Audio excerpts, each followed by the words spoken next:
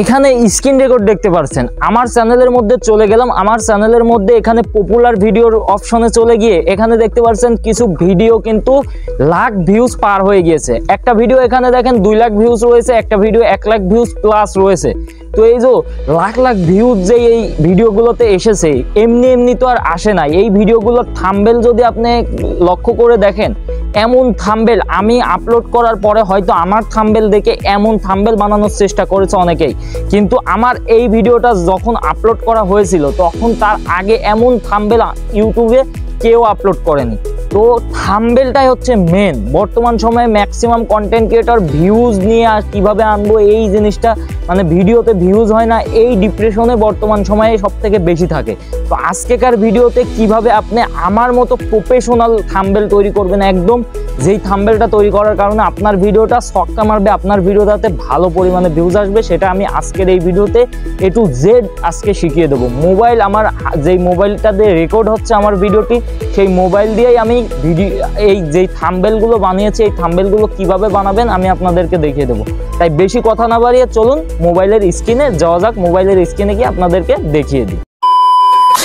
তো বন্ধুরা, আমি যেভাবে থাম্বেল বানাই, সেভাবে থাম্বেল বানানো শিখতে হলে ভিডিওটা সম্পূর্ণ দেখতে হবে। ভিডিওটা খুবই ইম্পর্টেন্ট অনেকেই আমাকে প্রশ্ন করছেন যে, থাম্বেল আমি কীভাবে বানাই? তো আমি জাস্ট প্লে স্টোরি থেকে একটা অ্যাপ্লিকেশন ডাউনলোড করেছি থাম্বেল বানানোর জন্য।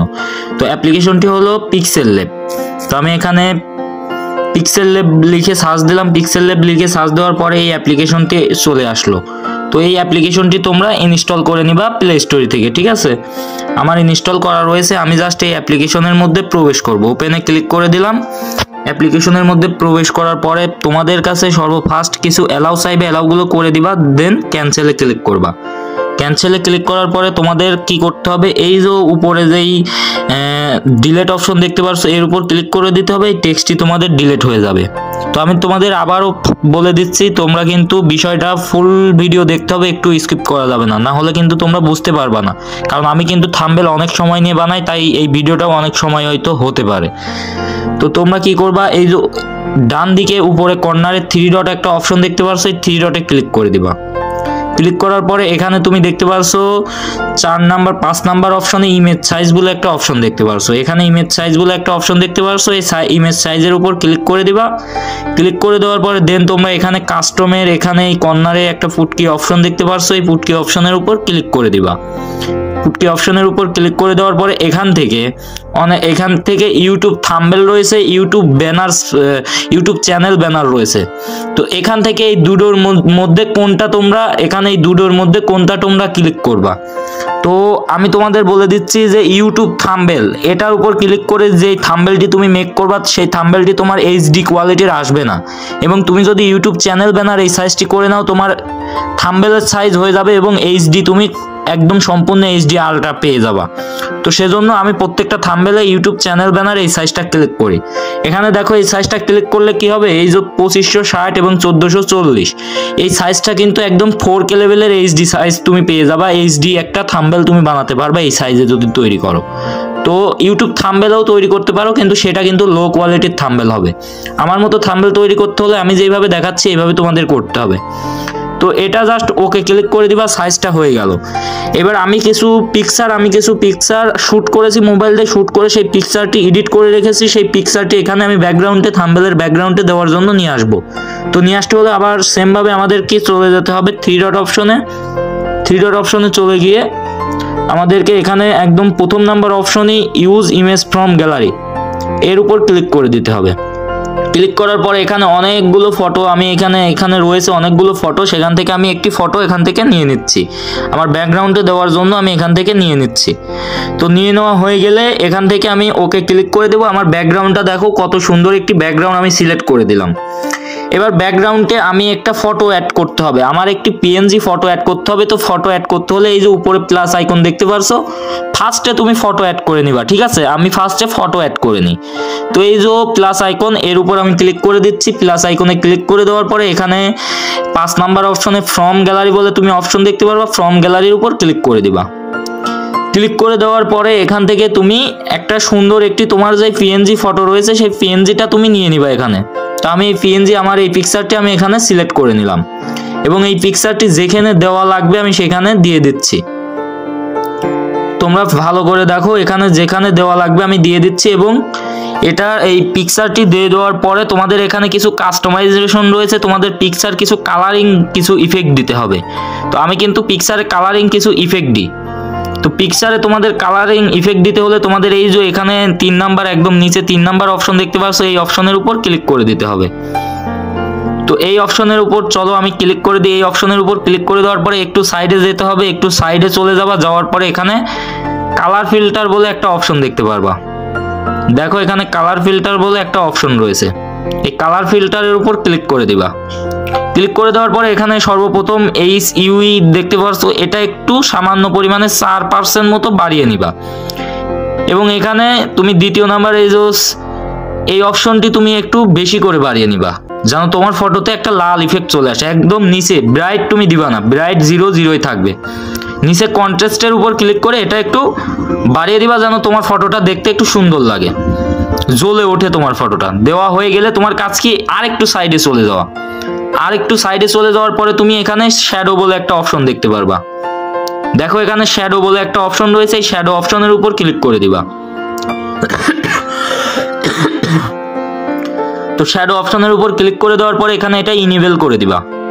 ইনিভেল করে দেওয়ার পরে এখান থেকে সাদা কালার তোমার যেই কালারটি তোমার রাখতে চাচ্ছ, তোমার চারপাশে দেখো এখানে তোমার কিন্তু এখানে তুমি দেখতে পাচ্ছ, তোমার কিন্তু চারপাশে কিন্তু খুব সুন্দর করে যে ইফেক্টটা তুমি দিতে চাচ্ছ, দেখো আমার লাল ইফেক্ট রয়েছে। তো আমি এখানে সাদা ইফেক্ট দিব এবং একটু নিচে যাব। ব্লার রিডাস এটা একদম কমাই দিব জিরো দিয়ে দেবো এবং অফেস্ট এক্স আমি এটা একটু বাড়াই দিব, যেন আমার সাইডে এরকম একটি ইফেক্ট চলে আসে। তো দেওয়া হয়ে গেলে আমার এখানকার কাজ শেষ। তো আমি কি করব? এখানে তুমি দেখতে পারছ একদম উপরে একটা অপশন দেখতে পারছ থ্রি ডট অপশনের নিচে এই অপশনের উপর তোমাকে ক্লিক করে দিতে হবে। ক্লিক করে দেওয়ার পরে এটা লক করে দিতে হবে। ঠিক আছে? এটা লক চিহ্নের উপর ক্লিক করে এটা লাল করে দিতে হবে। যেন তোমার পরবর্তীতে এটার উপর ক্লিক করেও ক্লিক করলেও তুমি এই মোবাইলের এই স্ক্রিনের উপর ক্লিক করলেও যেন তোমার ফটোটা না সরে যায়। তো তোমার ফটো বসানো হয়ে গেলে তুমি কি করবা? তুমি প্লাস আইকনে আবার ক্লিক করে দিবা। প্লাস আইকনে ক্লিক করার পরে এখানে টেক্সটে টেক্সটের উপর ক্লিক করবা টেক্সটের উপর ক্লিক করার পরে নিউ টেক্সটের উপর ডবল ক্লিক করবা নিউ টেক্সটের উপর ডবল ক্লিক করে তুমি যা লিখতে চাচ্ছ। আমি এখানে লিখতেছি এভাবে এভাবে বাড়াও। তুমি যা লিখতে চাচ্ছ এখানে লিখে ওকে করে দিবা। ওকে করে দিলে দেখতে পারছ তুমি এটা এখানে দেখতে পারছ। তো এটা তুমি এই যে এই কর্নারে যে অপশনটি দেখতে পারছ, একটা পুটকি অপশন দেখতে পারছ এই কর্নারে, এই অপশনটাতে ধরে তুমি ইচ্ছা মতো বড় ছোট করে নিতে পারবা। এই ইচ্ছা মতো ধরে বড় ছোট করে নিতে পারবা এবং নিচে তুমি একটা অপশন দেখতে পারছ, এই অপশনটাতে ক্লিক করে তুমি এটা ঘুরিয়ে পেঁচিয়ে যেইভাবে করতে চাচ্ছ সেইভাবে করে নিতে পারবা। তো এটা করা হয়ে গেলে তোমার এখানে কি করতে হবে? তোমার এই অপশনে ক্লিক করে দিতে হবে। তোমার লেখা হয়ে গেলে তোমার নিচে তুমি অপশন দেখতে পারছ, নিচে নিচে তুমি একটা অপশন দেখতে পারছ এই অপশন এই এই অপশনে তোমাকে ক্লিক করে দিতে হবে। এই অপশনে ক্লিক করে দেওয়ার পরে একটু সাইডে যেতে হবে। একটু সাইডে যাওয়ার পরে তুমি কালার বলে একটা অপশন দেখতে পারবা। এখানে ভালো করে লক্ষ্য করলে দেখতে পারবা কালার বলে একটা অপশন রয়েছে। এই কালার অপশনে ক্লিক করে দিতে হবে। কালার অপশনে ক্লিক করে দেওয়ার পরে এখান থেকে তুমি যেই কালারটি রাখতে চাচ্ছ, সেই কালারটি এখানে রেখে দিবা। তো আমি এখানে হলুদ রাখতেছি এবং এই নিচে। কালারের এখানে হলুদ কালারটি রেখে দিয়ে এই যে নিচে একদম এভাবে বাড়াও। দেখো আমার টেক্সটটি এখানে আমি কি করব? এখানে এই যে এটি ধরে আমি বাড়াও অপশনের ওপর নিয়ে যাব।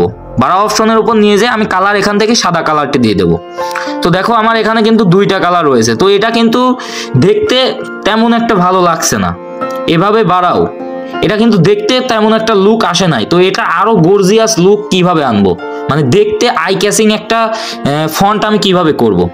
তো আস্তে আস্তে ভিডিওটা দেখো, বুঝতে পারবা। তো এই যে তারপরে তুমি নিচে এ বি বলে এই অপশনের মধ্যে একটু সাইডে গেলে কালার চেঞ্জ করার পর একটু সাইডে গেলে এ বি বলে একটা অপশন দেখতে পারবা ফন্ট এ বি বলে একটা ফন্ট দেখতে পারবে ফন্টের উপর ক্লিক করে দিবা। ক্লিক করে দেওয়ার পরে এখান থেকে তুমি এই ফন্টটি তোমার থাম্বেলের জন্য সিলেক্ট করবা। বেস্ট একটি ফন্ট প্রত্যেকটা থাম্বেল আমি ইউজ করি। এই ফন্টটি তুমি ভালো করে দেখে নাও। ফন্টে তুমি একটু ভালো করে দেখে নাও। এই ফন্টটি তুমি প্রত্যেকটা থাম্বেলে ইউজ করবা, খুব সুন্দর একটি ফন্ট। ফন্টটি আমি সিলেক্ট করে দিয়ে ওকে ক্লিক করে দিচ্ছি। তো দেখো ফন্টটি কিন্তু খুব সুন্দর করে বড় হয়ে গিয়েছে। তো এবার আমার কাজ কি? এবার একটু আবার সাইডে চলে যাওয়া। সাইডে যাওয়ার পরে এখানে স্টক বলে একটা অপশন দেখতে পারবা তুমি। একটু সাইডে যাওয়ার পরে স্টক বলে একটা অপশন দেখতে পারবা, এই স্টকের উপর ক্লিক করে দিবা। তো দেখো বন্ধুরা, তোমাদের ধাপে ধাপে আমি শেখাচ্ছি, তোমরা একটু ধৈর্য সহকারে দেখো, খুব সুন্দর আই ক্যাসিং থাম্বেল তোমরা নিজেরাই তৈরি করে নিতে পারবা। তো এটা ইনিভেলেট করে দিবা করে দেওয়ার পরে এখান থেকে তুমি তোমার লেখার চারপাশে কি বর্ডার দিতে চাচ্ছ, সেই কালারটি তুমি এখান থেকে সিলেক্ট করে নিবা। তো আমি এখান থেকে লেখার চারপাশে কালো বর্ডারটি আমি দিতে চাচ্ছি। তো এটি তুমি ইচ্ছা মতো যতটুকু দিলে ভালো হবে, বাড়িয়ে দিলে, কমিয়ে দিলে, যতটুকু রাখলে তোমার ভালো হবে, ততটুকুই তুমি রেখে দিবা। তো আমি রেখে দিলাম, রেখে দেওয়ার পরে তুমি একদম নিচে, স্টকের পরে, তারপরে শ্যাডো বলে একটা অপশন দেখতে পাচ্ছ শ্যাডোর উপর ক্লিক করে দিবা। তো শ্যাডোর উপর ক্লিক করে দেওয়ার পরে দেন এটাও ইনিভিলেট করে দিবা, এবং তুমি এখান থেকে যেই কালারটি রাখতে চাচ্ছ, সেই কালারটি রেখে দিবা। তো আমি এখান থেকে জাস্ট কালো কালারটি রাখব। রাখার পর একদম নিচে চলে যাব। এটি যেই সাইডে তুমি কালো কালারটি ইফেক্টটি সরাই দিতে চাচ্ছ, সেই সাইডে দিয়ে দিবা। দিয়ে দেওয়ার পরে নিচে অফসেট ওয়াই এর উপর ক্লিক করে এটা উপরের দিকে দিতে চাচ্ছ, নাকি এটা নিচে দিকে দিতে চাচ্ছ? তো আমি এটা উপরের দিকে দিতে চাচ্ছি, দিয়ে ওকে ক্লিক করে দিলাম। দেখো খুব সুন্দর একটি লুকস কিন্তু চলে এসেছে। আমার কিন্তু এই টেক্সটটা খুব সুন্দর একটি লুক চলে এসেছে। তো তারপরে আবার একটু সাইডে চলে যাবা। যাওয়ার পরে এই যে এই অপশনটাই তোমার মেন তোমার লেখা তুমি খুব সুন্দর করে আই ক্যাচিং করতে পারবা। এই যে দেখো, এই অপশনটা তুমি অবশ্যই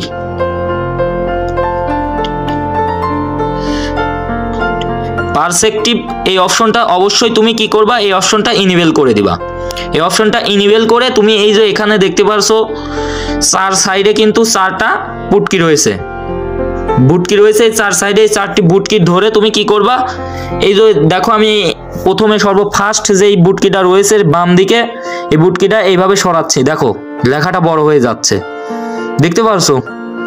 পরে নিচেরটা একটু সরাই নিচ্ছি, আমি খুব সুন্দর করে মিল তাল করিয়ে নিচ্ছি। পরে আমি দ্বিতীয়টা আমি সরাই নিচ্ছি, পরবর্তীতে এটাও আমি সরাই নিচ্ছি।